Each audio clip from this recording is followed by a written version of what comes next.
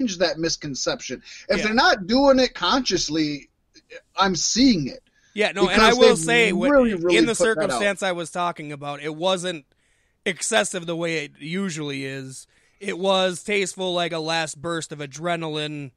Give it everything you got to try to take this match back because his brother was out at that point. Right. And without the storytelling, uh, actually, th- these four performers probably wouldn't have been able to turn it around. Uh, the quality would have dipped. There was no, I mean, there's no story going into this. Obviously, this is LAX's first match, so whatever. The only Well, real the negative I have on that this, they beat up uh, the the Rock and Roll Express and the Young Bucks. Well, about it. yeah, but that's that was between LAX and the Rock and Roll Express. But yeah, yeah, I mean, so uh, the, that was a reason for the match, but that wasn't like a year long arc, right? Yeah, That happened one episode and then they had the match, which is cool. I dig it. The only negative I have is about sorry, Pasty, the Rock and Roll Express. Oh, you didn't love that? Well, no, the, the fact is that this really dangerous inner circle got beat the shit down by these old ass rock and roll express guys. Pretty much But they're legends. any of the heat that they built by What the is win. what does the Undertaker do anytime he goes into the ring? You know what I'm saying? it, it was fun. It was super fun, and I enjoyed it because I'm just have to look obviously a huge like fan of the them. Undertaker. Uh, but when I look at the Undertaker, if he beats anybody like that, I think it's stupid. No, like it anybody who's young and upcoming. It was goofy, but I could rationalize it just on the fact that it was a numbers game for a minute. Oh, for sure, for sure. I mean, Yeah. I, I loved it as a as a mark. I Yeah. loved it. But that Canadian destroyer, building them, that yeah, Canadian destroyer. that extre- that extremely, um, uh, extremely, um, uh, what's what's the word? Not um, assisted Canadian Yes, destroyer. yes. Thank you. They That operated the ropes to launch him over. But that's not that's again that's not bad. No. What what I do have to say is when you got a badass team like LAX come in and then you have two old guys pwn them, it does. I I think it hurts them a little bit. I think it does. Yeah, I would have rather seen them demolish the Rock and Roll Express and then at some point later, when the Young Bucks had LAX like completely down or even maybe tied up or something, have the Rock and Roll Express come in and seek their revenge. But that's the only negative I have. I thought it was awesome. yeah. No, it was it was a lot of fun, and yeah, it was it was out there. But I thought the Rock and Roll Express was a good addition. I get I what you're saying about. LAX kind of looking softened by it, but I can't call them LAX anymore. PNP. PNP. Yes, Yep. I, I love them. yes. It's so hard not to call them LAX though. Then we had um, Adam Page defeating the bastard Pac Pasty.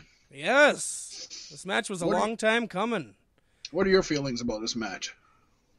It was the second match on the card, and I feel like it deserved that spot.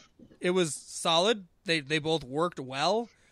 I don't think it was as good as it could be, but once again, this is the first time. And this is the first time. I don't know. It should have probably blown off a little bit better, and Pac should have won it. But uh, I like this match. I don't have complaints about it. No, I thought it built really, really well. I the thought throwing that uh, Pac into the fucking uh, outside rail over and over again, and throwing him hard. Like I don't know. Every time I watch AEW, I'm like, I just feel bad for those people's knees. right? oh fuck! Do they warn you like two minutes ahead of time? Like, watch your shit. This belt built well. It ended very well. I thought with a with a comeback by Page. Uh, I thought Page should have went won it. Excuse me. I felt Page really he emoted like a, a stage actor. I really felt the frustration in that last big ass lariat he did, and and he got Yeah. the dead eye. And and he got a victory he needed. I mean, both of these guys need to be protected. But if Page is getting built up and, and he actually went for the title, he can't be some slouch. You know what I mean? That loses in an average regular match, and that's what this is. Yeah. And this win may actually be the start of a road for redemption that hopefully sees Adam Page challenge Jericho again for the title that he, he possibly could win. This also gives uh, Adam Page credit because he beat Pac, who has built up so much credibility since he's been here. Obviously, we know that's been from a lot of uh, political pull backstage, Mm. but nonetheless, that's a different story. If we're just looking at it, looking at it on screen, Pac is undefeated. Adam Page beat him. Yep. And both these men looked awesome in this match. Uh, I don't Oh, think Pac yeah. lost anything by losing. You know, he's he's the bastard. He needs to be pissed off, which means he needs to lose some matches, right? Yeah, he lost very little. I, Yeah. I'd say he lost, but lost very little. I mean, Yeah. somebody has to lose. Either one of them was going to lose something. I think Adam Page needed this win more than Pac, for Mhm. sure. Oh, I I would have money on the fact Pac peels the the championship off a page at some point. And Page doesn't even have a championship. They got that perfect. It's a perfect cow- cowboy and bandit like pairing, What the fuck's a bandit? like a bandit, like a rapscallion. Okay, well, what's uh, I mean, like uh, in the AEW, what's Like a, a- bandit? I don't know what's a cowboy. I just Where, mean where the f- where are you just making up fucking nicknames for people? It Adam doesn't Page make is- sense to his me. new shirt is cowboy shit. His gimmick is cowboy, even though it's He's not. Hangman Adam Page is his gimmick. Okay, but Okay. he- he's still pushing the cowboy. He came down to the fucking ring on a horse at the, one of the pay per views. But I'm just Oh, saying. don't like, get me started on Hunter Horse Helmsley, please. Don't I'm just saying, if Adam Page is the sheriff of an old west town, Now you're talking about sheriffs. You're adding shit that doesn't exist. no sheriffs are cowboys. How can a sheriff be a cowboy? That doesn't even make sense. He rides a horse and he wrangles cattle that okay, just how to be bad horses dudes. cows? what was even the original argument? I don't even know what's going on. Ah. So. Adam Page is a sheriff and Pac is Deadwood on yeah. HBO.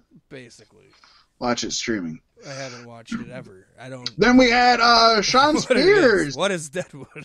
defeating Joey Janela Pasty. yeah. Um. Could have threw this on the buy-in. Yeah. Let's be honest. Yeah. Uh, it was Joey Janela had it a happened. honestly uh the gimmick the gimmick of Shawn Spears with the no more garbage wrestling. His shirt says no more garbage wrestling. Yep, yep, yep. Joey yep. Janela came in and wrestled a clean match, cleaner than Shawn Spears played the match. And I think that makes a point. That that's- oh, for sure. That's I that something the I can point. give this match. Uh, also, all the scratches. Joey Janela's really good at scratching people. Shawn Spears had a whole lot of like ble- little bleedy scratches on his back. Yeah, we don't like that.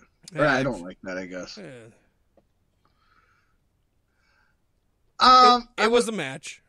to me, my notes here. Neither man was able to build any real momentum. And the finish was all Tully too, wasn't Um, yeah, this Yeah. this did nothing for Joey Janela, but it did give Spears a big pay per view win, so I'll give him that. It helps develop him into one of the higher profile upper mid card heels.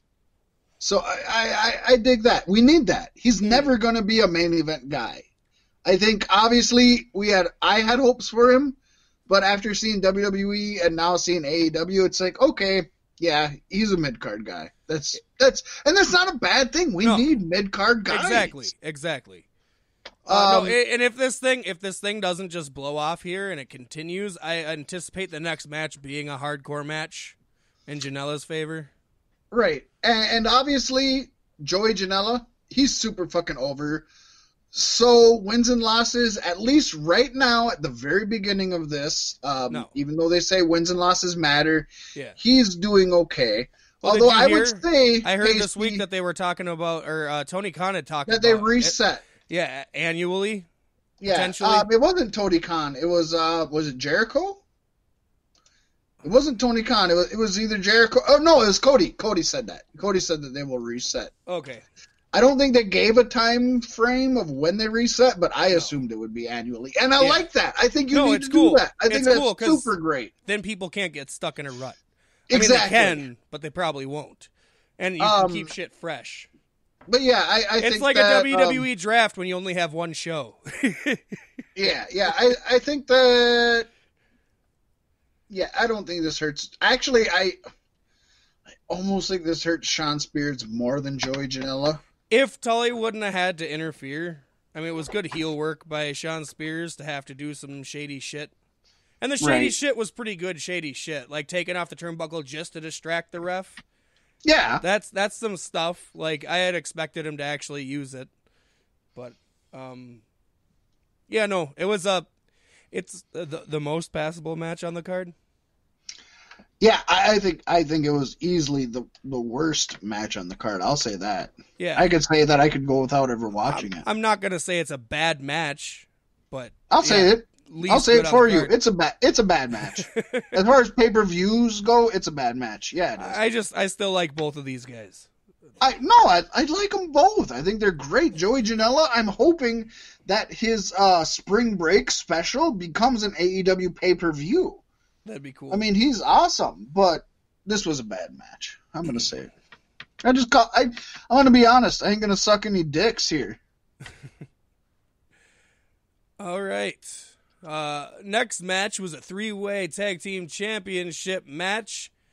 Seeing SoCal Uncensored, represented by Frankie Kazarian and Scorpio Sky, defending and retaining their championships against the Lucha Brothers and Private Party. And this was uh this was a fun match. Pacey, I have very little, if anything, negative to say about SCU. Most of the time, um, this wasn't. Uh, I think this would have been better as just a one-on-one between Yeah. either of them. Obviously, Mhm. Lucha Bros, of course. Yeah, Lucha Bros in either party after that. Uh I don't know. What do you think? I don't know. There's there's plenty of tag team on this card, and this probably wasn't the best tag team match. And then I do got to give a frowny face to the whole coming in as Pentagon Junior post match, because didn't Jericho just do that shit? Okay, so I'm gonna have to call you out on this one, Pasty. Okay, I'm just gonna have to call you out on this one.